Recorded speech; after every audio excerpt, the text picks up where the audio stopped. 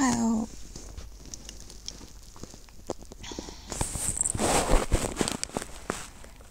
ちょっと話をと思って動画を撮りました。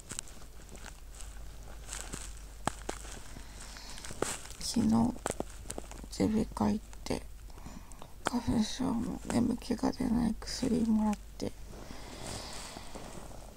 やっといつも起きれてたぐらいの時間に起きれた。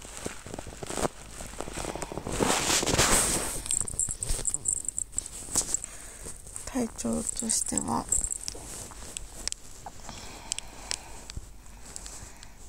うん寝れたっていう感じと腰も昨日リハビリ行ったからか大丈夫し。もあやっと枕したらちゃんと高さがある感じがするって感じ昨日は首も牽引してもらったからとか枕の高さを感じなくなったら首の牽引はした方がいいなっていう感じですやばくないこっちのシワ眉間のシワがさ眠っでもこの眠さはあれじゃないわ。薬の眠気の眠さじゃないわ。なんかまだあとちょっとぐらいの感じの眠さだから起きれるっち思う。なんかぶっちゃけ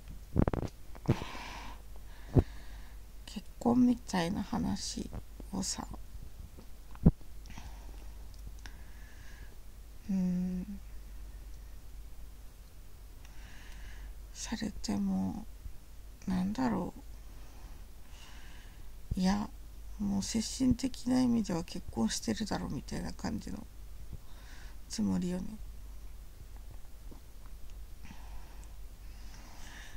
うんなんだろ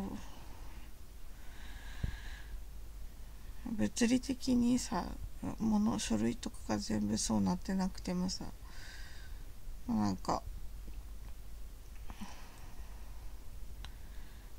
そうだな。でも他の人ち考えきらん自分もいるからで相手がそう思ってくれてるかはやっぱり今までだったら分からんちっとったかもしれんけど相手もそう思ってくれてるのかなって思うとこがあるから。